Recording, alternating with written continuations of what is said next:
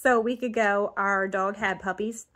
And today my four-year-old daughter came up to me and she asked me, where did the puppies come out of? Did they come out of her butt or out of her stomach?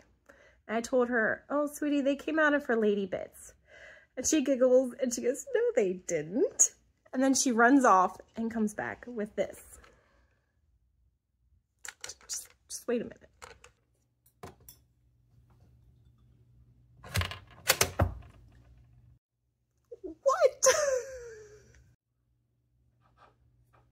I would like to personally thank Mattel for confusing my four-year-old daughter.